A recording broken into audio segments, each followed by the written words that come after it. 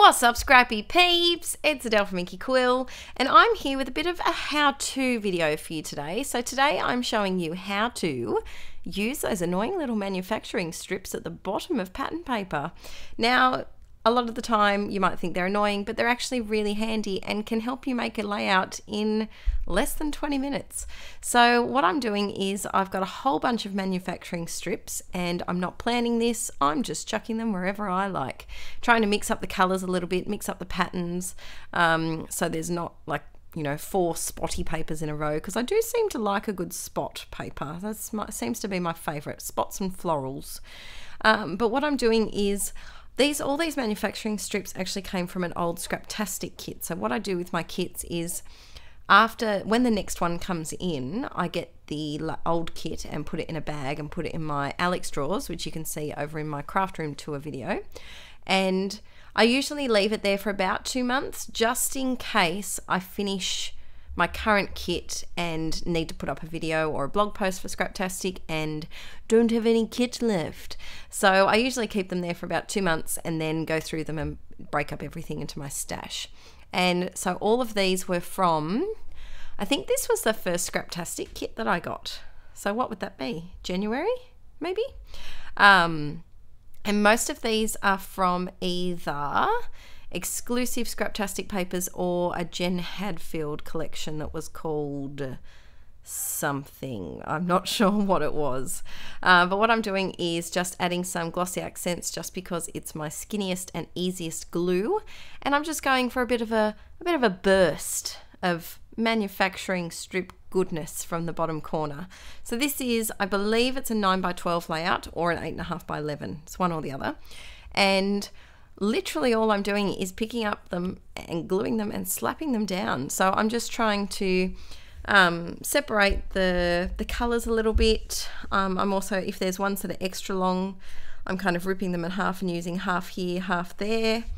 And I know that this bottom corner it's looking a bit messy, but when you put the final couple on, you can cover up all of those joins really easily. So don't worry too much about getting the bottom perfect. And really, you can't notice that in the end, you're not looking at that bottom corner. You, your eye tends to go up. So see, I'm using this one here and I just covered up a whole heap of those seams, which was really handy.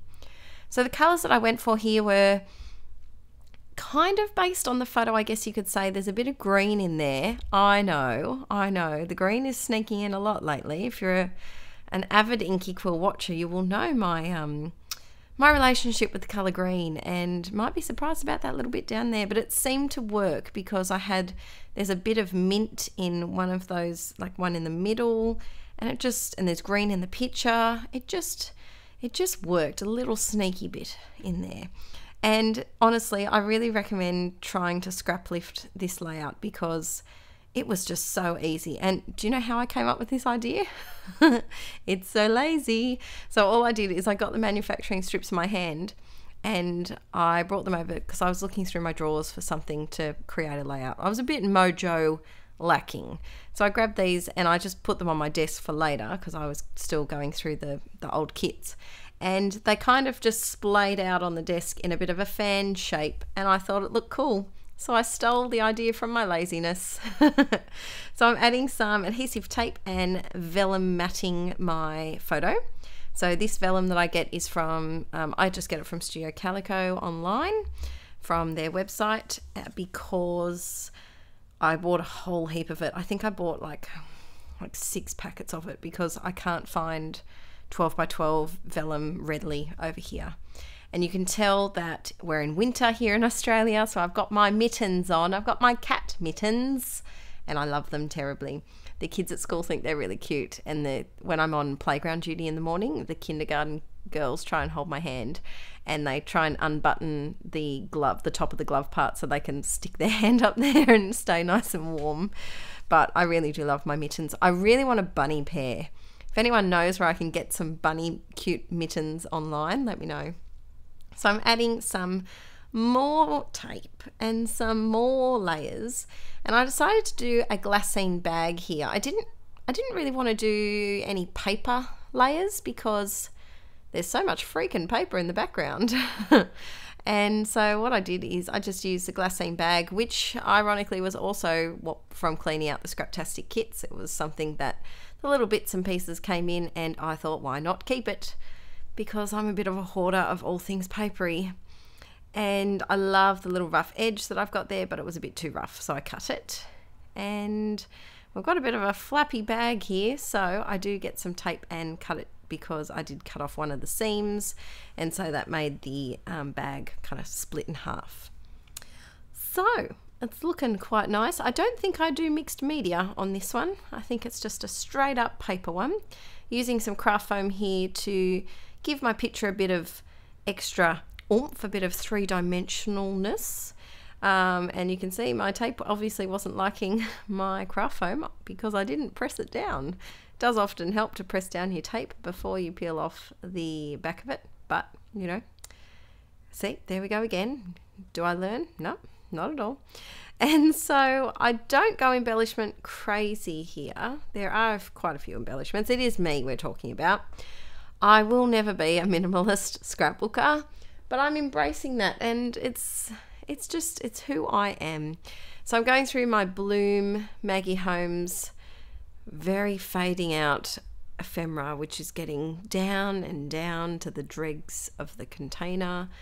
And every time I use a piece, my heart kind of goes, a little bit because it's one less piece that I have. But it's okay. I'm sure, I don't know, Crate Paper. If there's any crepe paperians watching, yes, that's what you called in my head. Um, you've set a high standard there with this Bloom collection. Let me know in the comments below if you liked the Bloom collection as much as I did because it really made my heart flutter quite a lot. So I'm just going through and grabbing anything I can. I realize I say I'm just going through quite a lot, but I do. I just, a lot of the time when I really don't know what I'm doing, I just ruffle around on my desk and something usually falls into my hand and I go, oh, that's going to work. Now I'm using my giant scissors. And I saw on my Facebook group, Scrapaholics Anonymous, someone bought like 25 centimeter or 25 inch. There's a big difference there. It was one or the other. Um, I'm not sure which one it was, but they were freaking huge scissors from Spotlight, and they were like four dollars. If that was you, you're amazing. I've forgotten who it was because there was quite a lot of scissor discussion the other week, but um, like I've said in previous videos, my scissors that I got are from Officeworks. I don't think they sell them anymore. They're about uh, seven inches long, I think. And the brand name, I have two pairs. One of them I can't really tell the brand name of. The other one is Leadah, L E D A H. So I'm not sure where you can get them from now, but um, I did get mine quite a few years ago. Let me know also, I was just thinking in the comments, let me know if you'd like me to do a like a, oh, I know. No, I've got a plan. Forget that. Well, let me know in the comments below if you would like a bit of a video on my basic, um, like my basic scrappy essentials, because I can do a video on that if you'd like, because I know that um, I've just hit 11,000 subscribers today, which is so exciting. And I know there's lots of people who haven't been watching my videos for ages, so they, you know, they haven't watched all, what am I up to, freaking 200 or something. Um, and so they don't know every you know, every little tool or giant scissors that I have. So let me know if you'd like a video on my essentials. Um, and I have another idea for a video. Mm, yes, but I have to film a face to face with that. And my face is not looking very facey right now because I'm about to go to bed. So I'll film that another day. But just adding some bits and pieces. And my rule with embellishing is always use different textures. So you can see here I've got some flat things. So I've got some stickers and some just flat papery bits. I've got some shine. I like to have a bit of shine in there. So I've got the puffy stickers for that. And I also like to have a bit of wood. So I'm doing going through my wood veneer. So I like to say three different textures in my embellishment clusters is the way to go. Also, heads up, if anyone is from Sydney, Newcastle, Central Coast kind of area, I'm teaching a scrapbooking class this weekend, Saturday the Mental blank 18th. Mm, 18th? I think it's the 18th. um, Saturday the 18th at the Hunter Valley. And I'll put the details down below, but I'm doing a Project Life class for two and a half hours. I'm doing three sessions on Saturday. Um, so let me know if you'd like to come along. I'll put the details down below, and you can contact Peter over at Scrapbooking from Scratch if you would like to come and join me and get scrappy. You get a whole kit of goodness. Um, we're using the uh, Cocoa Vanilla um, collection, and I'm showing you how to do some DIY embellishments, how to include some extra things in your project life that you might not think of. And yeah, so I'd love to see some people there. It'll be really fun. So I've got three classes on Saturday, and then I think I'm going to spend, I have to actually, no, I have to spend all of Sunday filming for my new class, which will be up very, very soon. The end of June. End of June, peeps. End of June. It's coming close.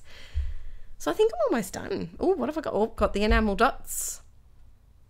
Got my favourite enamel dots. And what I've done with my enamel dots is these four um, packets, I really want to use them up because they're colours that I use all of the time and I seem to have multiple packs of some of them. So I'm actually leaving these ones on my desk instead of putting them back in their normal spot so that I don't get them muddled up. And see what I seem to have, like that blue pack, I think I have three half used packages of that. It's driving me crazy. So I have to use that before I use any other blues. So I decided to go with a bit of yellow because I thought it was a nice bright fun colour. So there's hints of yellow in this layout. A few different surprising things in this one. Cutting an enamel dot in half so that kind of tips over the page. I do really like doing that with my enamel dots. Oh, shake, shake, shake, shake, shake, shake. Shake your high shine. Shake your high shine. So I'm going off and I shook that for a lot longer. Paused the video, went off and shook it, came back. Because a lot of people have tr trouble with their um, Heidi Swapp Colour Shine, or Heidi Shine as I call it, uh, because it does seem to get a kind of oily mm, ring around it. So the, the gold bit's there and then it has an oily circle around it. Um, but if you shake it, shake it, shake your little heart out, then it should be minimized. It might not, it might, you might accidentally still get some, but the chances will be decreased. Adding some Tim Holtz small talk and whoop, hands. I think I was done. Is that, whoop, yep, done, done, done. So this is so easy, guys. I only sped this up to um, two times speed. So it took me 24 minutes to do. It was really, really simple. And I, yeah, it was just fun to use my scraps in a bit of a different way. So I was going to save this for Scrap Stash Saturday, but I've decided to sneak it in today instead. I might do another, maybe I'll do another manufacturing strip video for Scrapbook Stash, strap, Scrap Stash Saturday.